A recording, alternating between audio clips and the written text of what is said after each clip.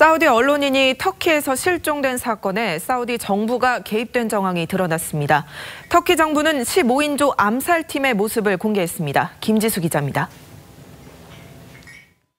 지난 2일 새벽 터키 이스탄불. 사우디 왕실 전세기가 공항에 착륙합니다. 건장한 남성들이 검색대를 통과하고 잠시 뒤 호텔에 체크인합니다. 사우디 언론인 카슈크지를 살해한 15인조 암살팀의 행적이라며 터키 정부가 공개한 CCTV 화면입니다. 실종된 카슈크지가 이날 오후 사우디 총영사관에 들어갈 시점을 전후해 검은색 승합차가 바쁘게 들락거리는 장면도 공개했습니다. 카슈크지가 총영사관에 들어가는 장면은 찍혔지만 나오는 모습은 없습니다.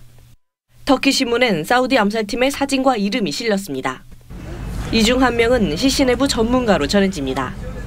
터키 정부는 사우디 암살팀이 카슈크지를 살해한 뒤 시신을 훼손해 반출한 걸로 보고 있습니다. 사우디 정부 연루설이 확산하면서 국제사회도 진상 규명을 촉구하고 있습니다. This apparent um, enforced disappearance um, of uh, Mr. Khashoggi um, from the consulate of the Kingdom of Saudi Arabia in Istanbul is of serious concern.